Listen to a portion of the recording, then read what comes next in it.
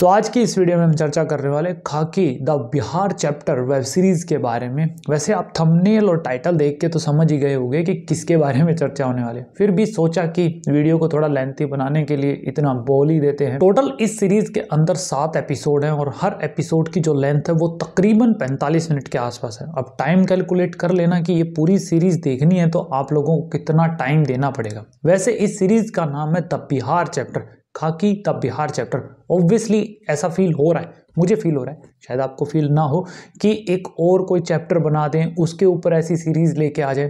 खैर, जब इस सीरीज़ का ट्रेलर रिलीज़ हुआ था, मुझे बहुत धमाकेदार लगा था, क्योंकि खून खराबा फुल ऑन बिहार के अंदर जो चीज़ें हमें देखने को मिल रही थी, वो ट्रेलर के अंदर थी और बहुत ज़्यादा मुझे वो पसंद आया था। तब मैंने सोचा था, यार, ये सीरीज़ आएगी तो इसको मैं देखूँगा। और एटलीस्ट इसको मैंने देखा।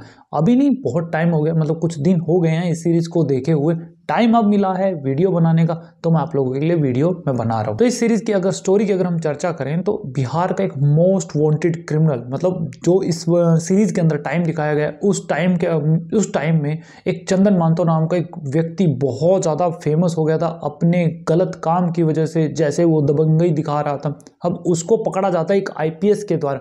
तो ये जो सीरीज़ है, इसी की स्टोरी हमें दिखाती है। और सबसे अच्छी बात, सबसे बढ़िया बात जो मुझे इस सीरीज़ की लगी कि सारी जो चीज़ें हैं, वो रियल स्टोरी हैं। मतलब ऑब्वियसली जो मेकर्स हैं, उन्होंने थोड़ा बहुत मिर्च मसाला डाला होगा इस सीरीज़ को इंटरेस्टिंग बनाने के लिए। लेकिन ये एक रियल स्टोरी के ऊपर आधारित है तो आपको बहुत सारी चीज़ें आपको इसमें देखने को मिलेंगी कि एक आईपीएस ऑफिसर कैसे क्रिमिनल को पकड़ता है कैसे कैसे वो टेक्निक लगाता है। बहुत ज़्यादा मज़ा आने वाला है।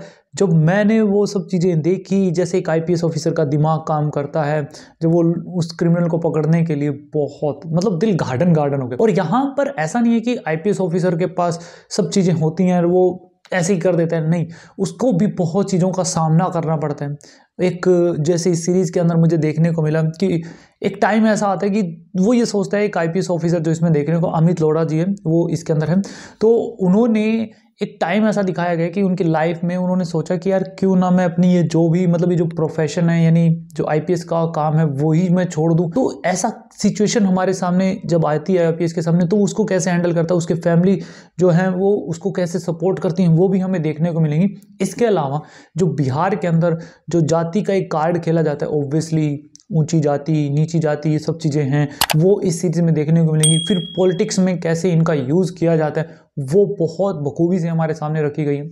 ये नहीं कि केवल क्रिमिनल का ही बहुत सारे एंगल्स हमारे सामने आते हैं इस सीरीज़ में। बहुत मज़ा आता है इस सीरीज़ को जब आप देखते हैं।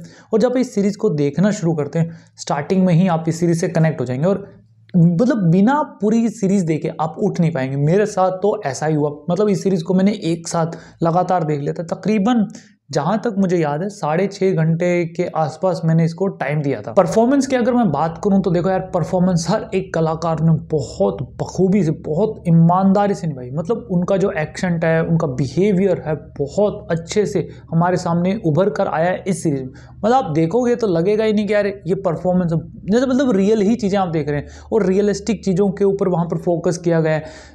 बहुत अच्छा लगा यार। मतलब आप इसकी परफॉर्मेंस जो इसकी रियल स्टोरी है और यहाँ पर इसके ऊपर मतलब इसके अलावा इसमें कैसे कैसे चीज़ों के हमारे सामने रखा गया है स्टोरी डेवलपिंग बहुत बढ़िया है। और इसके जो लास्ट के एपिसोड हैं, वो मुझे बहुत ज़्यादा पसंद आए उसके अंदर जब एक एपिसोड आता है उसके अंदर चंदन मानतो और जो अमित लोढ़ा है, आपस में बैठकर बात कर रहे होते हैं। तो यहाँ पर जो उनकी कन्वर्सेशन होती है, वो बहुत ज़बरदस्त है।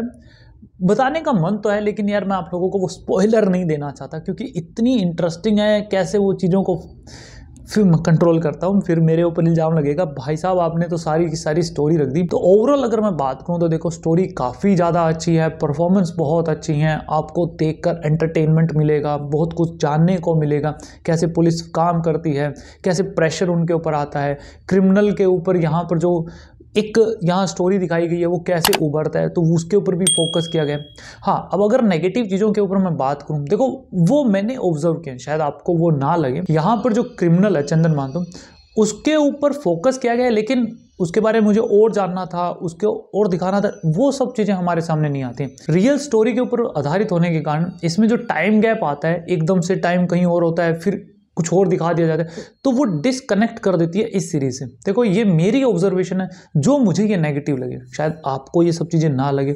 हाँ गाली गलोच है इस सीरीज़ के अंदर तो मार्केट मतलब कि वॉयलेशन भी वॉयलेशन वॉयलेशन नहीं वॉयलेंस वॉयलेंस बहुत ज़्यादा है।